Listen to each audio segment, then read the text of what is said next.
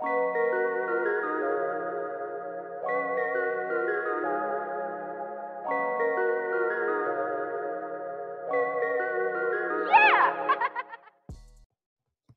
everyone, I'm here today to teach you about Screencastify. This is a program that is so easy to use and free and allows you to record your screen, include your video if you prefer, and walk students through different activities and different topics that you're teaching.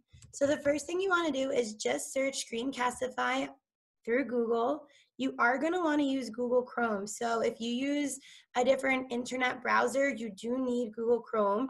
And you can see that it says right here, add to Chrome. This adds it as a free extension, which will pop up on the top right of your Google Chrome.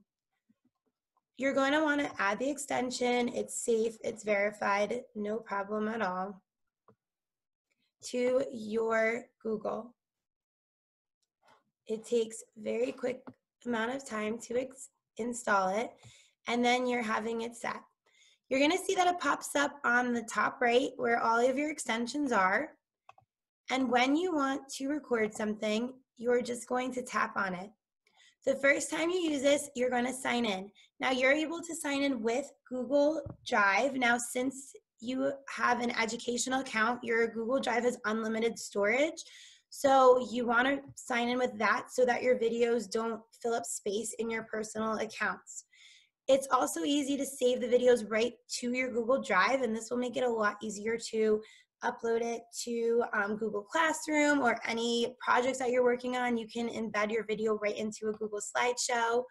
So I suggest signing right in with Google Drive. You're going to want to set permissions, allow the microphone and all of that. It might pop up for you to allow.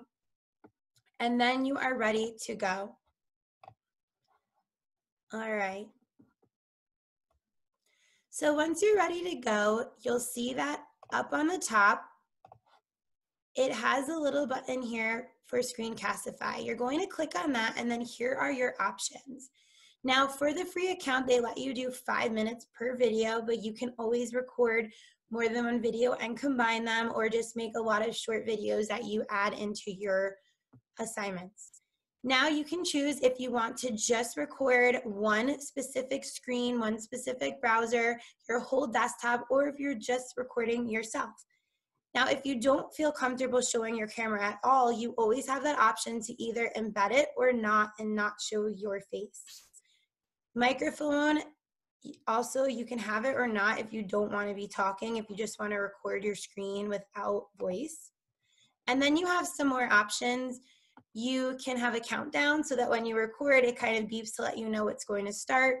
There's drawing tools if you want to circle or highlight something on your screen. Um, you can also record the audio if there's something you want to play while you're recording and if you want to show your webcam preview or not. So it's as simple as deciding all of these options and figuring out what exactly you're recording this video for. And um, if you need to change the size or anything, you can do that under settings. And then over here, you can check which account it's under, and you can also see all of your recordings through that. Once you're ready to go, all you hit is record. It's gonna tell you if you have more than one window open or you use two monitors, which exact screen you wanna record. Or if you're doing the tab version, you're gonna be able to select just one tab that you wanna record. And you can hear that it's telling me I'm starting to record. And now it is recording. Once you're done, you hit stop and it's actually going to bring up it, your video right here you're going to see that you can rename your video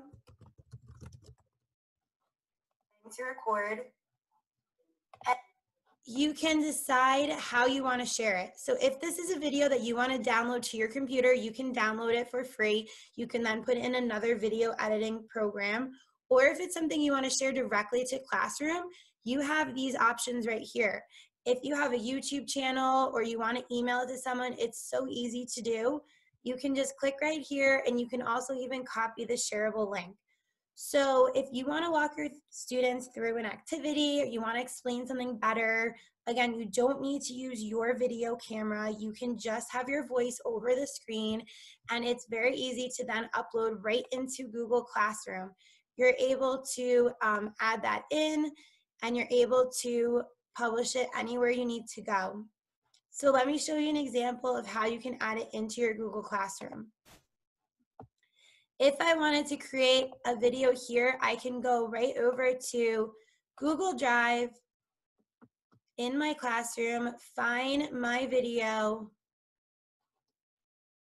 It's going to make a folder and I can upload that video right to Google Classroom as an announcement or as classwork. And your students will be able to see right away. Or you'll be able to just hit the screen cash share to classroom. Just make sure you're logged on with your educational site um, email account or it will not work. I hope this was helpful for you as you move into some more digital learning. Good luck. Let me know if you have any questions. I'm happy to help.